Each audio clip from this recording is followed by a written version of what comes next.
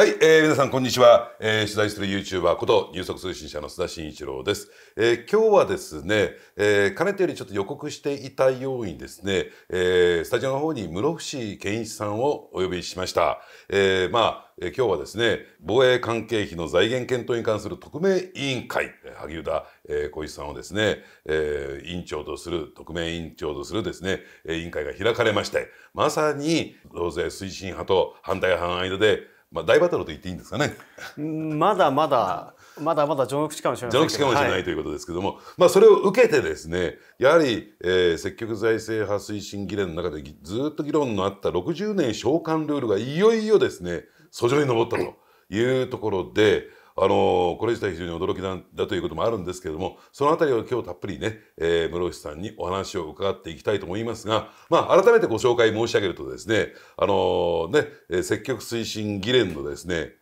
裏顧問、まあ、裏顧問というふうに木内先生におっしゃっていた、まあ、あのお手伝いをさせていただいているという立場ですけども、はい、はい、まあ、知恵袋という立場でですね今日はお話を伺っていきたいと思います。あの先ほどもちょっと申し上げたようにですね、はい、ちょっとびっくりしましたね。こういう会合でまああの積極財政派のね会合であるならば、えー、何の違和感もないんですけれどもしかも財務省の官僚が来ている中でもうまさにね、えー、メインテーマとして60年償還ルールが乗っかってきたと載せられてきたっていうのはこれ相当びっくりするような動きだったんですけども。非常に大きな一歩だと思いますね、ええ、これまでこんな話って全く出てこなかったですし、うん、あの逆に今その増税のね方向性という形で押し切られてしまったんですけどやっぱり非常に大きなポイントはこの60年償還ルールっていうものがあって、うん、それが非常に問題なんだよっていうことが、少なくともあの多くの国民にあの認識をされたということをですね。はい、え。でしかもですよこう最近ね、はい、えー、おそらく萩生田政調会長の発言が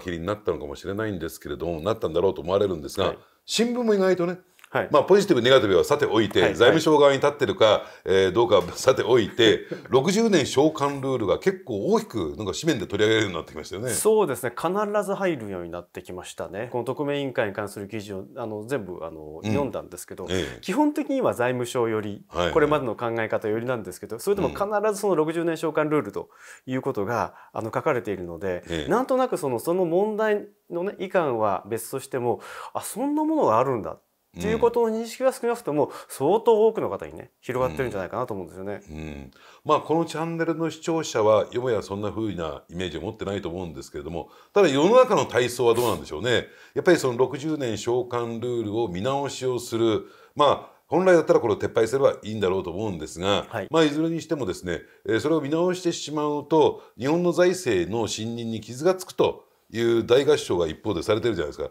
この辺りについてはどう思われます？すごいですね。あのじゃあそもそも日本のね財政に対する信任だとか、うん、市場の信任っていうんですけど市場って何ですかってことなんですよ。うん、でじゃあ市場の信任ってものを、まあ、いわゆるその金融投資会社の動きと考えた時ですよ、まあ、60年償還ルールの見直しであるとか、うん、そういう話出ましたよね、うん、だけどもその格付け会社も何も動いてないし、うん、証券会社も金融セクターって完全に無視してるんですよね、うん、なぜかといえば何も問題ないからなんですよ、うん、でそもそも国債っていうもの自体がどう取引されてるかってこと自体を多くの方々ご存知ないじゃないですか、ええ、ちょっと私の手続きも含めて昨日改めて調べてみたんですけど、え、基本的には99.9%日銀が、うん、あの全部その取引の事務をやってるんですよね、で基本的にはその日銀の当座預金でしか取引ができないわけなんですよ、ですから個人の買う方もその当座金を持ってるのが銀行とか、はいはい、あとはそのまあ一定以上のお金がある信用金庫とか、うん、あとはその証券会社も一応あるんですよね。うんでそこから買うっていうことなので個人が自分の口座で買うことはそもそもできないんですよね。はいはいはい、まあ、日銀の指定金融機関でなければ日銀に口座が開設できない。できません、はい、えー、でそうすると今室伏さんが言われたように銀行と名の付くことが大体開設してるけども信用金庫は一部と、はい。えー、そして証券会社の一部、はい、ここを経由してしか買う売ったり買ったりができないそうなんです、ね、ですからねあの以前その元ゴールドマン・サックスの田内学さんとちょっと議論をした時にね、うん。ええ、まあ、ゴールドマン・サックス、まあ、あの今はその議銀行の免許を取りましたから銀行でもあるんですけどもともとはその金商法に基づく証券会社でしたから、その中でまあ日本の国債どうするかって議論した時に結局何の問題もないから買おうって話になったっていうんですね、まあ、ゴールドマン・サックスもあの一応ちゃんとあの日銀二等財金からありますから、ええ、ですからねそういう動き見ていけば何の問題もないよねと、市場との関係で言っても、いわゆるその市場をそういう金融セクターと考えれば彼ら何にも懸念してないんですよ、むしろ安心してるっていうのが実態なんですけど、うん、なんとなく市場がとか海外がっていうぼやっとしたイメージで不安を煽ってるのが今の財務省であり政府でありそしてそれに協力する大手メディアだということだと思います。あそれはこういう理解でいいんですか？つまり市場マーケットっていうとまあ株式マーケットもまあ似たようなもんでしょうけども不特定多数がいつでも好きな時に入ってきてくるから、ええ、要はそのところで国債を売り買いしてると、え、何らかの意図思惑が働いて場合によっては暴落するかもしれない。というようなふうにみんなイメージで持ってるかもしれない。そんなことないんだと。国債の売り買いというのは特定の決められたえー、まあ金融機関なりがやっているだけの話だと、はい。はい、そこから先のあのものはありますけど基本的にはですね、うん、仕組みというのは日銀当座預金でしかできませんから株式市場みたいに、うん、もうデイトレみたいな形でやるものではないので、ええ、まあ、ですからねあのちょっとだから株式とかねあの国をね、うん、あのおそらくその民間企業と同じように考えてその会社がねこう財務体質が悪くてどんどんどんどん借金して借金返せなくなったっていうので株が暴落するってイメージで考えてるんですけどそれとは全然違いますよと、まずそもそも国債の仕組み自体が全然違いますよというところを、ね、まず理解をしていただいた上で、はい、日本政府が通貨を発行してるわけですから、結局返済できなくなるってことはありえないっていうことと、あともう一つねこの話までしちゃっていいですか？どうぞどうぞあの実はそのこの特命委員会の前にあの責任ある積極財政推進議連の,、あのちょっと作戦会議がありまして私そこにさ、あの参加をしてたんですけどその時も、まあ、私も申し上げましたし他のあの、まあ、ブレーンの方もおっしゃってましたけど基本的に国債の発行残高ってずっと増え続けて当たり前なんですよね、うん、各国。なぜならばまず国債を、あの償還してるところって日本だけなんですよ。で実際日本も借り換え債になってまして、うん、日銀もちゃんと借り換えの場合の手続きってちゃんと定めてるんですけど、はいはい、ずっと借り換え借り換えでやっていくのであの基本的にどの国でもずっと増えていくわけなんですよ。だその増えるのがまずいって言ってるのってこれまた日本だけなんですよね。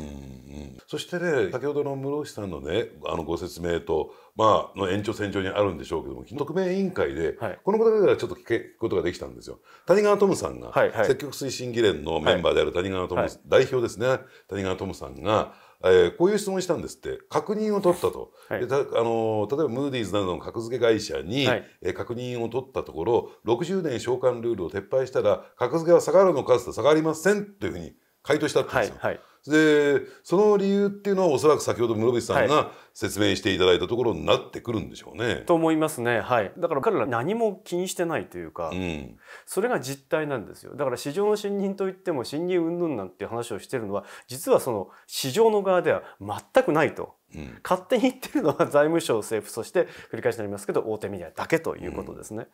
とはいえですよ、はい、我々こんな話をしてますけれどもあの松野官房長官が記者会見の席上、はい、そう言ったじゃないですか。じゃああれは嘘をついたってことになっちゃいますよ。あれ嘘ですね完全嘘ですか？で要するにあれはですね、うん、あの官房長官の記者会見の時って、まあ、記者からいろんなことが聞かれるんですけど今今の状況だとそういうこと聞かれるだろうということで、ええ、ちゃんと想定問答って作ってるんですけど、うん、まあ、財務省が用意した想定問答を単純にあの人読み上げただけだと思うんですね。うん、であのだからこそねあの今まだこの話ってあの与党内で、まあ、これから議論しましょうと言ってる時にその議論を封じ込めるような答弁をあの松野官房長官にさせたので、うん、だからあの、まあ、ちょっと乱暴な言い方ですけど萩生田あの政調会長が「お前らいい加減にしろよ」ってことをおっしゃったというふうに伺ってます。うんうん、でもね嘘ついたっていう簡単に済ませられないのはここに私問題の本質があるんだろうと思うんですよ。はい、つまりまあ積極推進議連私もずっと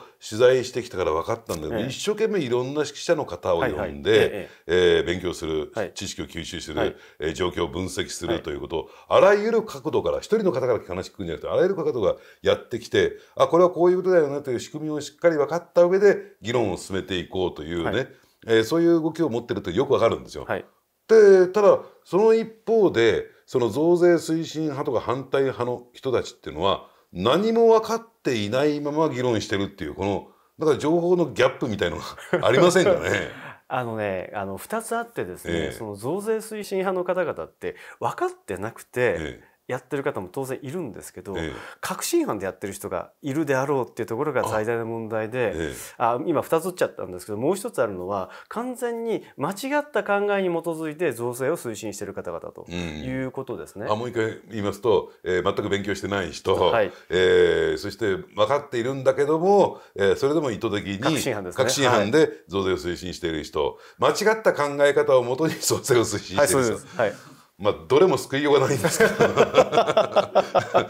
いや、そうなんです。救いようがないんですよね。うんで、一番立ちが悪いのが、その間違った考えの方々っていうのは、これだけね、積極財政推進議連、まあ、だんだんだんだん人が増えてきます。で、そういうね、意見、まあ、60年償還ルールの見直しも含めて、だいぶこう認識は以前に比べれば広まってきたと。いう中で、ちょっと待てと、俺の考えもしかしたら間違ってるかもしれないっていうふうに思う人もいて、うん実は、あの、議連の中にも、もともとはそっち側だったんだけど、勉強してみたらやっぱ間違ってたっていうので、考えを改めて議連に入ってきたって方もいらっしゃるそうなんですね。えところがですね間違ってることが分かったんだけども俺間違ったって言ったらこれまでの発言が間違いになっちゃうからどうしようって言って、そのまま間違えって分かったんだけどもそのまま間違いのまま突き進むと。これ霞が関にやりがちなんですけど、ええ。そういう思考パターンで増税だって言ってる人間これが一番立ちが悪いですね。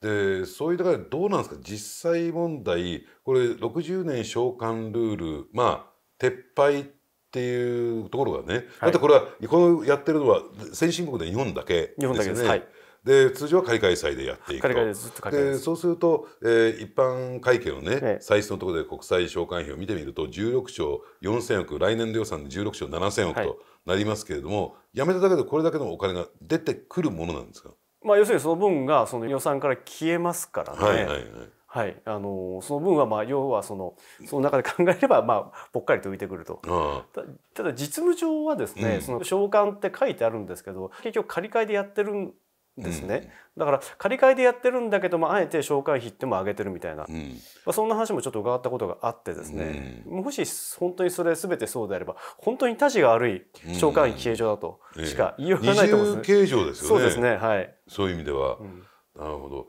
でどうなんですか？これはまああくまでも想像になってしまうんだけれども、はいあのそもそも積極水銀議連は60年償還ルールそのものを見直すべきだと、はい。えーやめるべきだと。はい。いう主張ですよね。はい。これで萩生田さんが80年って出してきたっていうのは、これこういう変化球を投げてきたっていうのは落としどころを探ったというふうなイメージなんですか？おそらくそうなんじゃないかなと思うんですね。結局60年を80年にしても償還ってことがあるので、ええ。基本的には償還の必要がないものなので償還ルールを消しましょうっていう話だと思うんですけど、ええ。まあそれを先延ばしにするってどうなんだろうっていうのは、まあ、まあちょっとこれを言っちゃうと元も子もないんですけども、うん。あのその方がまあ財務省的にもまあ要は受け入れざるを得ないから80年っていうふうに言ってるのか、それとも実はその償還ルールの話について必ずしも完璧に理解できてなくてだったら伸ばしゃいいじゃないかって話になったのちょっとこれちょっと分かりませんけども、うん。まあ、少なくともまあ前者であればまだその要はこれまでのルールを変えた財務省側からすれば変えさせられたという事実になりますから非常に大きな一歩にはなりますよね。はいはい。でもう一つはね、はい。過去。はいこの国債費国債償還費っていうんですかね、計上しなかった年もあるんです、ね。あると聞いてます。何回かあると聞いてまして、えーっとね私ごめんなさい。ちょっとこれまだ調べてないんですけど、ええ。80年代にあの何年間かやったりとかあと90年代に何年間かやったりとかしたことがあると。で実際にそのやったんだけども、うん。何の影響もありませんでしたとあ いうふうに伺ってます。あなるほど。でもう一点ね、はい。で私思うんですけれどもあの室伏さんってもともと総務省ご出です。はい。身じゃないですか、はまあ総務省というと税の部分でね、はい。やっぱり財務省旧大蔵省とは、はい。まあ旧実省との関係で、えー非常にこう近しい関係でやってきたからまあその手の内はよーく分かってると思うんですけども、はいちょっとなんか今回の財務省の動きっていうと過去のねあの精緻な財務省モデルから考えるとかなり雑な動きのように見えるんですけどもその辺なんかお感じになることあります？いやおっしゃる通りですね、まあ、元役人として、まあ、予算云々っていうことを考えなかったとしても、役人の動きとしては雑々稚拙なんですよね。うんで特にそれが目立ったのが昨年の補正予算の総額を決める時ですね、うん。あれ決まってないのに決まったと言ってしまってでその次があの年末の防衛増税の時に、はい。あのもう最初から増税でやるんだみたいな話を言わせてしまった、まさに今まだ党の成長で議論を始まったばかりなのに、うん、あのとか始まる前ですかね。これからやろうという段階、うん、国債にするのか増税にするのかっていうことを決める前の段階で言わせてしまった、はいはい、これ相当ね乱暴で昔だったらですよ。昔だったら、まあ、落としどころとして増税を考えていたとしてもですよ、うん、相当丁寧に根回しをしまくってですね、年内じゃ短すぎるから無理だからじゃあ国会前までとか通常国会始まってからでもいいから、その段階で決めましょうというふうなことを、あの法案の作成と同時進行でやったりとかやってるんですよ。で決定的な違いはね分かりやすい違いは何かというとですね、かつてであればですよ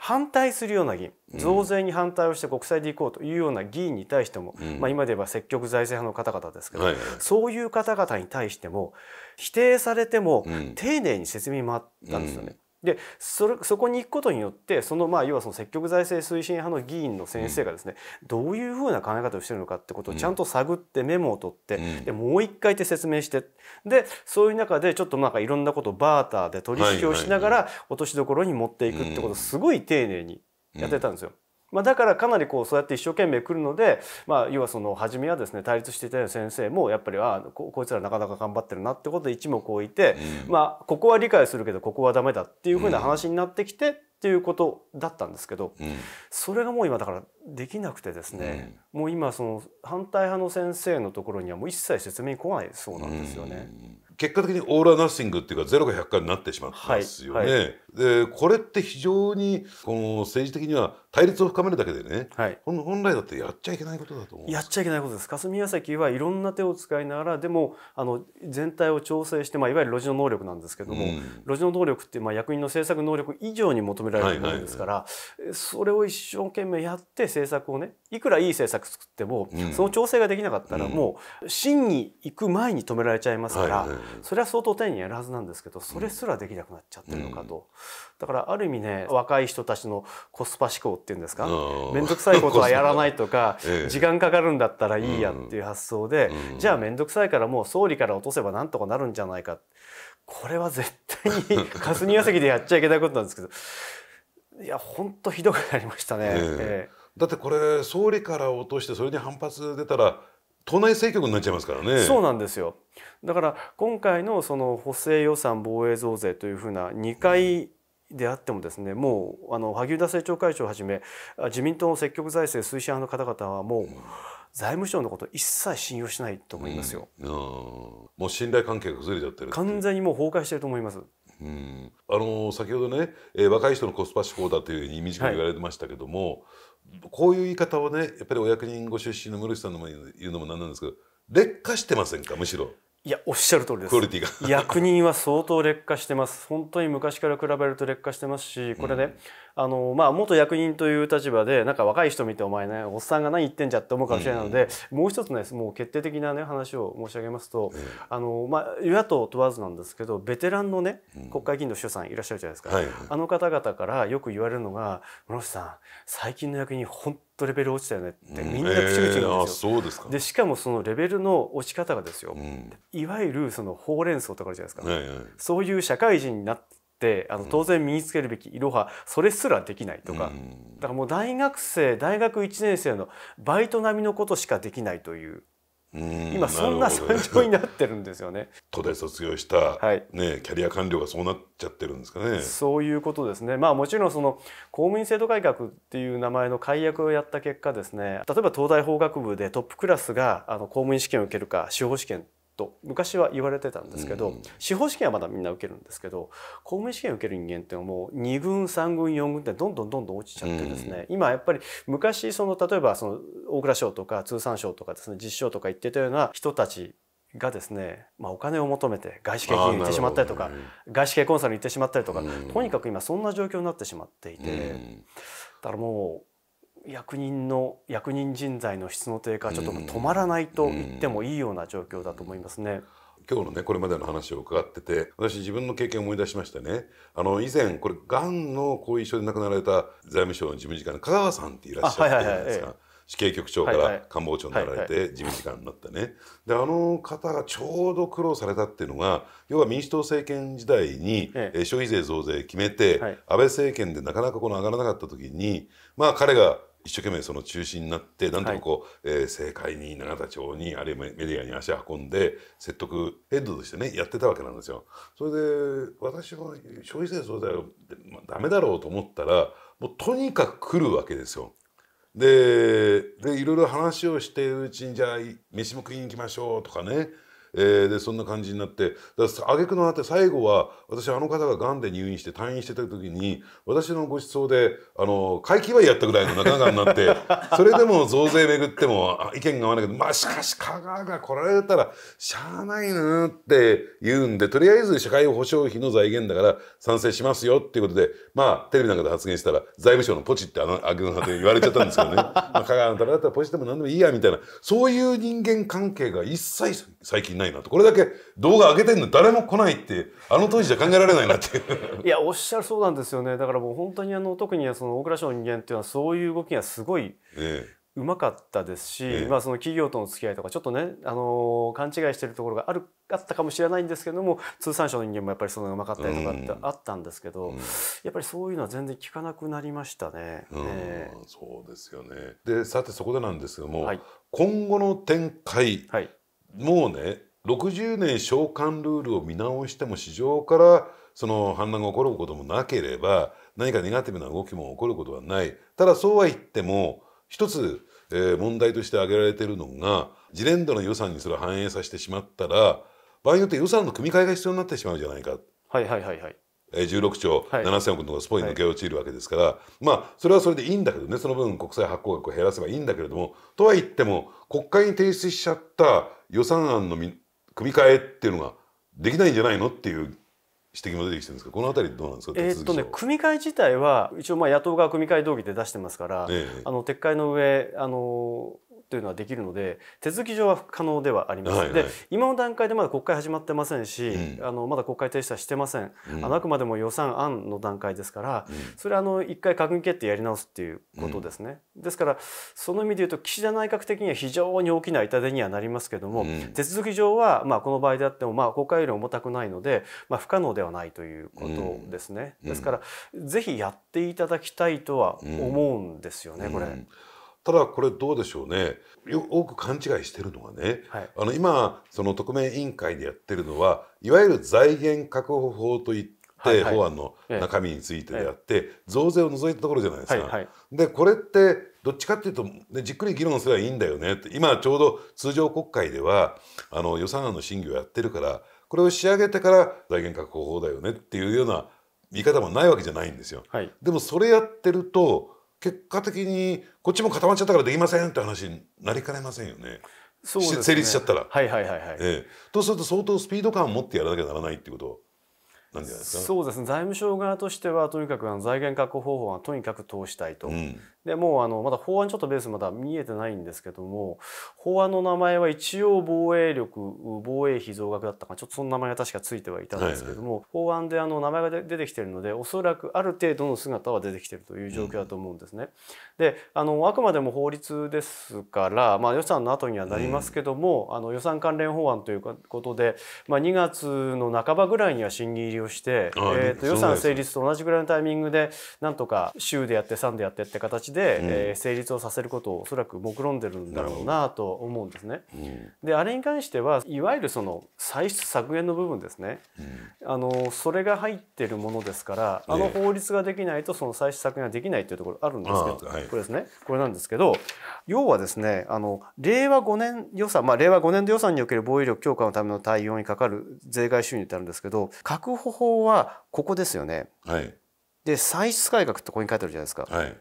で何やるんですか？って言ったらここのその外為特会とか在当あの分云々ってあってあとコロナ関係の国立病院機構からのですね、はい、あの国庫返納とかっていうのをこれであのやりますと。うん。で今年分の歳出改革は歳出改革という形でやりますよっていう形で書いてあるので、うん。うん、これ自体がいわゆる歳出改革の根拠にはまだなってないんですよ。ね。うん、なるほどなるほど、ええ。うん、この歳出改革っていうのは他省庁から相当反発出てきませんか？いやもうあのこれ自体はですね、えもうすでにやってありましてですね、えこれフレームなんですけど、ええ。ここでマイナスってついてるじゃないですか。はい。新型ウイルスあのココロナウイルス感染症云々っていうのでこれで、えー、と1兆円とかですね、こういう形で削ってるんです。で国債費ですね国債費を、えー、と特例公債を1兆6000、えー、と100億円削るという形で、実はもうすでにこの中でですね、まあ、これ対前年の比でありますけども、削ることはやってることはやってるんですようね。ん、じゃあそこは間違いなく出てくると。出てくる。そうですね、はい。ええでそうするとですよその流れに乗ってしまうともうオートマティックに増税が決まっちゃうっていうことですよね。例えば、えーこれ先ほど先ほど申し上げた60年償還ルールの見直しをしなければ、はい。要するに歳出改革ももうある種の確定値みたいなの出てきちゃってるしでそれから剰余金の活用であるとかあるいは、えー大手町、ま、なんとかプレイス大手町プレイスですね、はい、の売却であるとか、要するにそういうところで、ええ。ー税外収入を、これも決まってると。で、そうすると、このあたりって、なんかこう、財務省のさじ加減一つで、あ、出せます、みたいな、増やせます、みたいなところでやってるから、財務省の抵抗に遭うとなかなかこれ以上出てきかねない。となると、結構財務省の棚心に乗っかってるような感じもしなくもないんですけど。そうですね。で、ええこの歳出改革が確実にそのもうあの財務省の手のひらの手のひらの上であの転がせる範囲で一回これをやって削ってで令和6年度予算のですねまあ概算要求に対する査定の中では相当これをギリギリやってくるんだろうなと。ええで加えてこのためのあの歳出改革っていうのも一応この法案の中に入ってることになってるので、うん。まあまだその法案の中身ちょっと見られていないので、ええ。詳しくわからないですけど少なくとも事前の説明の段階ではここでやるっていうふうな話をしてますから。ええ。ってことになるとあのここでもですね歳出改革をやってそれでこっちに入れるってことになると、うん。各府省のですね予算を相当削ることになると。そのための根拠になっちゃうっていうのが一番怖い、あれなんですね。うん。そうすると必要な予算は削られてしまいますし、ええあとはそのせっかくですね昨年の骨太の時にですね、ええ。あの入れた一文のあの重要な政策の選択肢を狭めることがあってはならないって、うあの一文が完全に空文化しちゃうんですねこれによってですね。うん。まあ、防衛力増強に関して言うと、ええ。あそこの一文をせっかく盛り込んだのに、ええーこのこれを根拠に、えーそれが削られてしまうといえうえ可能性が出てくるという実績にこんあの来年度予算のフレームを見てもですね実績にも空文化させられてしまってるんですけどそれがさらにあのなんだろうこう要は空文化の範囲が広がるというか、はい。もう完全に空文化というかですね完全に潰されてしまいかねないということですね。はい、さあそこでなんですけども、はい。作戦会議やられたっていうことなんですけどね、はい。でも考えてみるとやり方は稚拙でずさんで雑だったけれども、はい。議論の進め方、はい。あるいは調整の仕方についてはねただその一方で財務省しやるべきことはしっかりやってるとか罠をしちゃんとあの設けてきてるというふうに思えるんですが、はい。これに対抗していけますか？どうですか？いやもうねこれね骨太の方針の時に財務省がこう押し切ろうとしたものをですね責任ある積極財政推進議連の方々が徹底的に読み込んで押し返したというふうなうん。そういうあのまあ歴史って言いますか過去のねあのはい。昨年の経験がありますから、うんあのもう皆さんやる気満々ですから徹底的に読み込んで押し返そうということはうん。おっしゃってます。でこれやらないと本当に日本はまずくなるという緊張感を相当皆さんお持ちですから、まあ、それはねもうあのもうぜひ押し返してほしいという僕のその思いもありますけども、まあ、押し返すことは僕は可能だとは思ってます。だからやっぱり室伏さんのようなね官僚の経験がある方がやっぱりその文章を読んで財務省の仕掛けがどこにあるのかっていうのはやっぱりそのあたりを読み解いてくれっていうそういうニーズなんですか？そうですね。それはあります。それはあります。はい。なのええ。でちょっとこのあのポンチエの段階ではちょっといろいろ読み込んだりとかしてこの可能性もあるあの可能性もあるってお話は申し上げたんですけど、うんうん。そういう話をすると皆さんやっぱりどんどんどんどん気づかれるようになってくるのでああなるほどね。そうなんですよ。いやむむしろ室さんそういうけどこっちの可能性があるんじゃないかとか、うんあっちの可能性があるんじゃないかというふうに言っていただけるぐらいに皆さん本当相当このポンチエからですね、え読み込むぐらいの今そんな今えレベルに達してると、はい。でそうするとこれからやっぱりこの特命委員会が一つの主戦場にはい。なってきて、はい。その動きっていうのがかなり大きな影響を及ぼしてくるっていうことですね。と思いますね。はい。あのおそらく大手メディアはですね、なんかこうあの財政の信任がとか、はいはい。財政産経がとかそういう変なですね、あの記事ばっかりですね出したもので、ぜひね、あの菅さんのこの入足見ていただいて、あありがとうございます認識をですね、あのしっかり正しい認識をですね持っていただきたいと思うんですよね。ねえありがとうございます。ということであの私たちもですねこの特命委員会含めて、はい、えー、推進班、えー、推進班議連の方もね、はい、ウォッチしてきますんで、はい、あのこれに懲りずもうなたびたび出ていただきたいなと情報発信していただきたいな、はい、えー、視聴者の方に解説もしていただきたいと思いますんで、えー、その辺はよろしくお願いします。はい、ちょっと一つですね、あの言い忘れたことがあるので、よろしいですか？どうぞどうぞこのねポンチの中であの財源確保法にごめんなさいちょっとメモで僕のメモであのちらっと書いてるんですけど償還ルールの廃止。うんって書いてありますよね。はいはい、一番ねこの法案でも絶対財務省が通したいと。いうのであれば分かったとじゃあこの法案の中身をですね、うん、60年償還ルールの廃止これを入れたらどうですかと、うん、そうすると、まあ、まさにですねあの償還費あの16兆円以上出てきますからそれで終わりだよねと。うんいうことが言えてしまうので、まあ、落としどころとしてはそういうのもあるんじゃないかっていうふうな話も今出てます。なるほど。はい。そんな非中の費を今ここで言っていいんですか？大丈夫ですか？いやもう全然全然もうねこれぜひね、知ってほしいんですよね。なるほど。そうすべきだと。確保法案っていうもの自体が絶対問題ですから。はい。はい、でその処方箋がもう作られてると。つまりこの財源確保法案の中に、はい、え償還ルールの廃止ですか？見直しどころか廃止という文言を入れるというのが、まあ一つのゴールだと。そういう中身をねもしこの確保法案を通したいんだったら、うん、そういう中身ガラッと買いなさいよと、うん、確保法という一応箱は残りますから、ね、中身は違いますけどね。ねはい、あの今日全然別件でですねえー、実は午前中私財務省行ってたんですよ。あのこの件じゃないんですけどね、えー、ちょっと取材で。そしたら「あね、何人かに「浅田さんニュース見てるよニュース見てるよ」って 言われてですね。なんかすごく針の無臭だったんですけれどもあのいいですか？見てるんでしたらちょっと検討していただくとありがたいかなと、はい、あらかじめ、えー、室、はい、木さんの方からですねこういうご提案があって、はい、おそらくほどなくして、えー、特命委員会の中でも、えー、こういったことが取り上げられると思いますんであらかじめ申し上げておきますんでね、はい、えー、ぜひご検討してい。ただけたら、ぜひよろしくお願いします。ありがたいなと思います。またご登場願いって、はい、あのご登場してください、はい、よろしくお願いします。ありがとうございました。ありがとうございました